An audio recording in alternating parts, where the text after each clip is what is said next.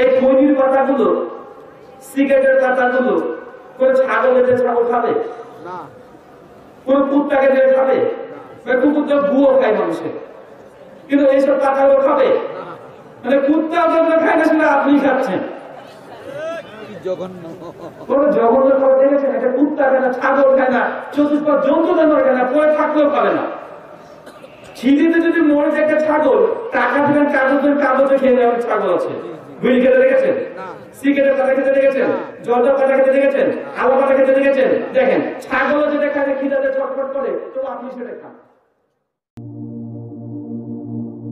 فاسألوا أهل الذكر إن كنتم لا تعلمون بالبينات والزبر وأنزلنا إليك الذكر لتبين للناس ما نزل إليهم ولعلهم يتفكرون তিন ইবাদত কবুল শর্ত যে ইবাদত করছেন ইবাদত করার পূর্বে বা এই কাজগুলো দেখেন কিসের কাজ বলেন তো যে দুটো শর্ত বললাম সব অন্তরের কাজ টাকা পয়সা লাগে না লাগে নাকি না। আল্লাহ প্রতি বিশ্বাস করতে টাকা লাগে না। ফিরেস্তার প্রতি বিশ্বাস টাকা লাগে মৃত্যু পর জীবন টাকা লাগে সব অন্তরের কাজ আল্লাহকে ভয় করবেন হাত পা দিয়ে ভয় করবেন নাকি অন্তরের কাজ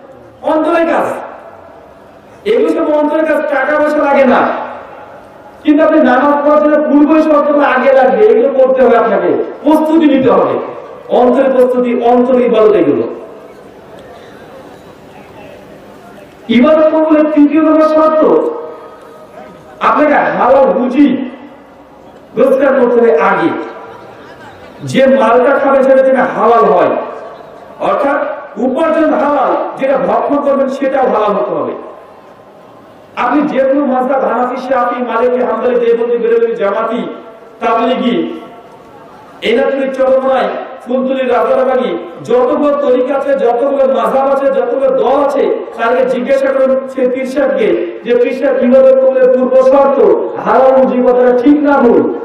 যে সবার হ্যাঁ ঠিক। এটা নিয়ে কোনো মতলব আছে? জি না।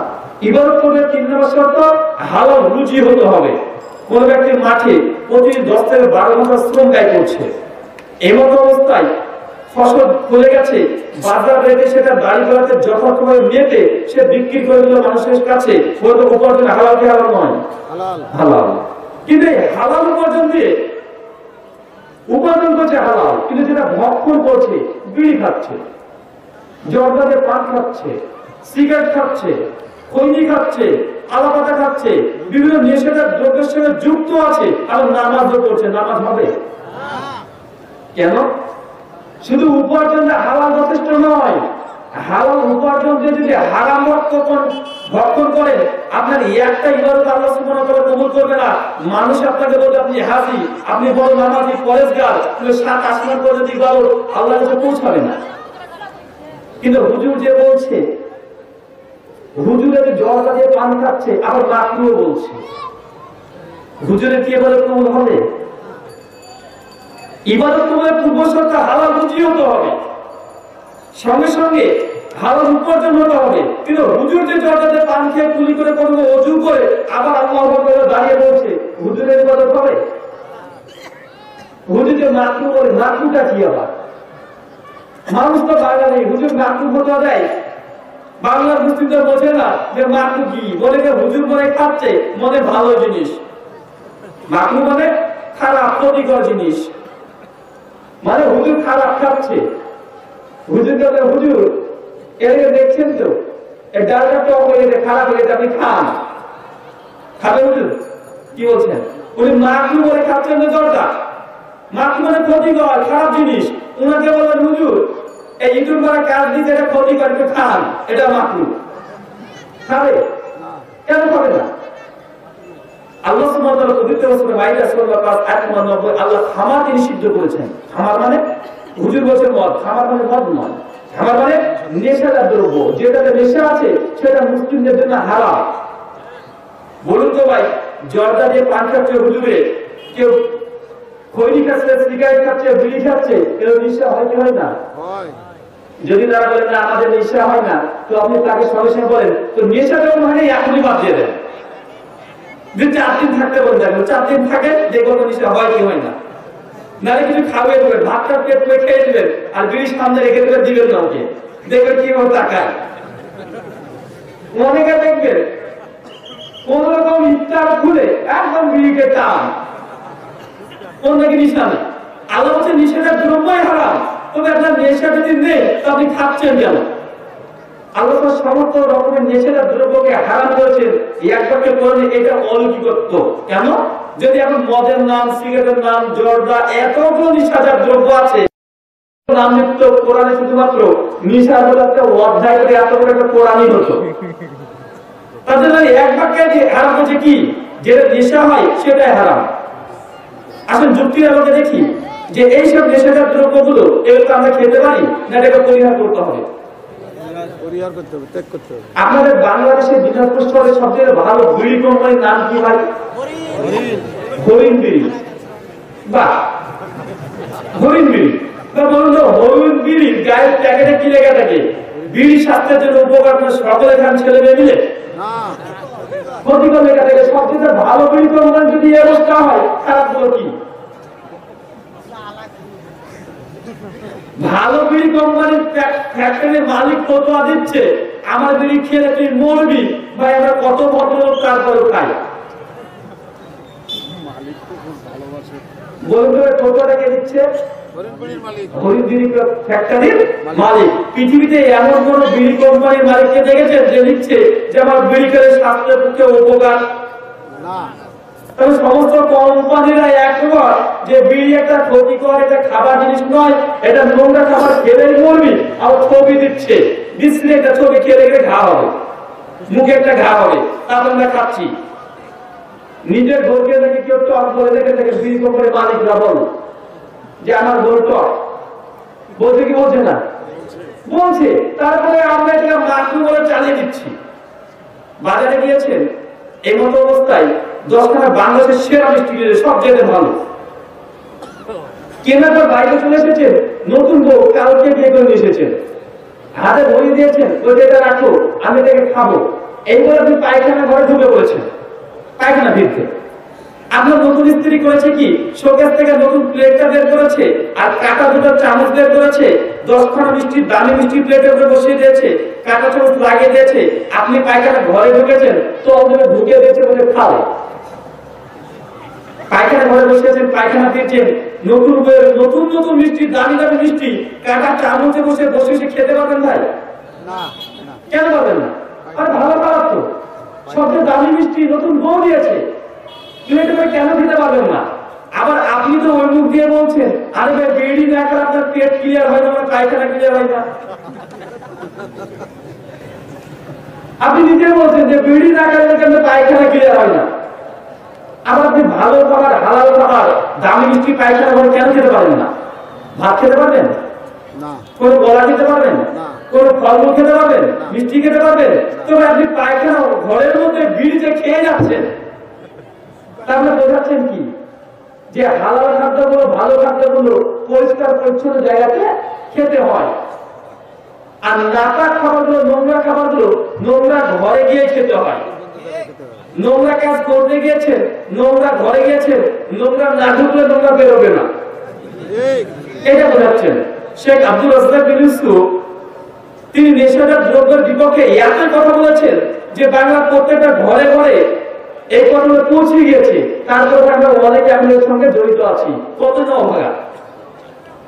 এত বলিষ্ঠ কণ্ঠে তিনি এসব নেশাদার দ্রব্য সামাজিক জাহিরাতের বিপক্ষে কথা বলেছেন যে তার মধ্যে বক্তা বাংলার জমি এবং পশ্চিমবঙ্গের মধ্যে খুঁজে পাওয়া দুষ্কর আছে। জানা বোঝার পরে তারপর আমরা এখনও দেখবেন যে আলোচনা শেষ হবে। রাস্তাতে দেবে আবার এক পকেটে ডিসপ্লাই আর এক পকেট থেকে টান টেনে চলে যাবে কত বড় নির্লজ্জ ব্যক্তি। ভালো খাবার বরং ভালো জায়গাতে খায় আর নোংরা খাবারগুলো নোংরা ঘরে খেতে হয়। তার জন্য একটা মিষ্টির দাম যদি এক লক্ষ টাকা হয়, আপনি পায়খানা করতে বলবেন আর খেতে পারবেন না তখন বিড়ি টানে। বাজারে গিয়েছেন? কানলা জিলাপি কিনেছেন? কানলা জিলাপি বোঝেন কানলা জিলাপি জিলাপি। বলে না জিলাপির মতো সোজা মানে উল্টো করে বলছে। জিলাপি কিনেছেন? বাইরে চলে এসেছেন? প্যাকেটটাকে খুলেছেন? স্ত্রী ছেলে মেয়ে সবাই বসে আছে। প্যাকেটটা খুলে একা একা খাবেন ছেলে মেয়েকে কেউ দিতে পারবেন না। পারবেন আপনি বাপ না। কেন পারবেন না? আপনি ছেলে মেয়েকে ভালোবাসেন। তাকে দিয়ে ভাগাভাগি করে আনন্দ ফুর্তি করে খাবেন। কেন দেবা আপনি প্রতিদিন বাজার থেকে আসার সময় রাত্রিতে বিড়ির প্যাকেট কিনে নিয়ে আসছেন। ভাত খাওয়ার ছেলে বেশ সামনে খাচ্ছেন। কোনদিন আপনার ষোলো বছর যুবতী মেয়েকে বলেছেন যে মা তুই একটা খা। কেন দেন না আপনার দশ বছর ছেলে মেয়ে কেন দেন না? মা তুই একটা খা আপনি জিলেপি না দিয়ে খেতে পারেন না। আবার বিড়ি নতুন নতুন সিগারেট কিনে যাচ্ছেন, দামি দামি সিগারেট তো আপনার মেয়েকে কেন একটা দেন না, ছেলেকে কেন দেন না। কুছ কালা है মানে আপনার অন্তর বলছে, এই খাবারটা ছেলেমেয়ের জন্য নয়, এটা নোংরা খাবার। তার জন্য ছেলে মেয়েকে দেন না। কেন? ছেলে মেয়েকে ভালোবাসেন। এই জন্য তাকে দেন না। আপনার বউকে বলবে, তুমি একটা মারো। কেন বলেন না? বিড়ি খাবারটি এইসব নেশাদার দ্রব্য খাবারটি তখনই জায়জ অনুমোদিত হবে। একটা আদর্শ পরিবার তৈরি করুন যে বাজার থেকে প্রতি সিগারেট প্যাকেট নিয়ে আসবেন। ছেলেকে একটা মেয়েকে একটা বউকে একটা আপনি একটা জামাইকে একটা সবাইকে দিয়ে মিষ্টি যেমন খান পরিবার যদি খেতে পারেন একসঙ্গে তবে যায় তার আগে নয় পারবেন এরকম আদর্শ পরিবার তৈরি করতে? যদি পারেন তো বিয়ে জায়জ করে নেন কোনো সমস্যা নেই। বাজারে গিয়েছেন? বেশ কয়েকটা কলা কিনেছেন। টেবিলে করে খাচ্ছেন অর্ধেক কলাকে টেবিলে করে রেখে দিয়েছেন। আপনার ছেলেকে দৌড়তে দৌড়তে দশ বছরের ছেলে এসে বাকি অর্ধেক কলা খেয়ে নিয়েছে। তাকে মারবেন? ঘাট ধাক্কা দেবে তাড়িয়ে দেবেন? আপনার কলা খাওয়া শেষ একটা বিড়ি ধরিয়েছেন। খাওয়ার পর টেবিলে করে রেখেছেন ছেলে আবার ধরছে এসে বিড়িটাকে রয়েছে টান। বলতে কি করবেন? কেন? একটু কলা খেলো কিছু বললেন না। এখনই আপনার একটু কলা খেলো কিছু বললেন না। আবার একটু অর্ধেক বিড়িতে টান দিয়েছে, মারবেন কেন? তার মানে? আপনার বলা উচিত ছিল বাপটা বেটা, খা বেটা। মারবেন কেন? তবে আপনি জানছেন যে বিড়ি ভালো নয়, এটা দুর্গা অন্তর বলছে তাই এরপরে আর কিছু বলার প্রয়োজন আছে? যে খাবারটা নির্দিষ্ট নোংরা যেটা পরিবারের ছেলে মেয়েকে না দেখে দেওয়া হয় আপনার বউকে কোনো একটা মানো কেন? আল্লাহ বলেছেন স্ত্রী হক কি ভাই? যে মানে খাচ্ছ সেই মানে খাওয়াও বউকে একটা দেবেন আপনি একটা খাবেন। যদি আদর্শ পরিবার তৈরি করতে পারেন তখনই বিড়ি অনুমোদিত নচেত নিষিদ্ধ আপনার জন্য গোটা মুসলিম জাতির জন্য এমনকি হিন্দুদের জন্য। ঠিক। খৈনি কোনাতে ভাই? বাম হাতে বাম হাতে বলছিস খান আপনি? কত সহজে কি একটা নোংরা একটা হাত, কি কাজ করেন ভাই? এখন পায়খানা করে ঢুকে খৈনি বাড়ছে এই হাত দিয়ে। ডোলে ডোলে ডোলে মানে হাতটা লাল করে ফেলেছে। মানে এত পরিষ্কার চকচক হয়ে গেছে। আবার নোংরা লাগে তুলে আবার মুখে বেঁধে ঢোকাচ্ছে। এই খৈনির পাতাগুলো, সিগারেটের পাতাগুলো, কোন ছাগল এদের ছাগল খাবে? না।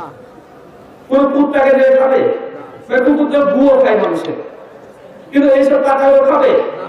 মানে কুত্তা যেগুলো খায় না সেটা আপনি খাচ্ছেন। কি জঘন্য। কোন দেখেছেন একটা কুত্তা খায় না ছাগল খায় না চতুষ্পদ জন্তু জানোয়ার খায় না পরে থাকলেও খাবে না। ছিদিতে যদি মরে যায় একটা ছাগল টাকা দিবেন কাগজের কাগজে খেয়ে নেওয়ার ছাগল আছে। বিড়ি খেতে দেখেছেন? না। সিগারেট পাতা খেতে দেখেছেন? জর্দা পাতা খেতে দেখেছেন? আলু পাতা খেতে দেখেছেন? দেখেন ছাগল যেটা খায় খিদাতে ছটফট করে তো আপনি সেটা খান। ইবাদত করলে পূর্ব শর্ত তিন নম্বর শর্ত হালাল রুজি হতে হবে। হালাল উপার্জন করে হালাল জিনিস ভক্ষণ করতে হবে।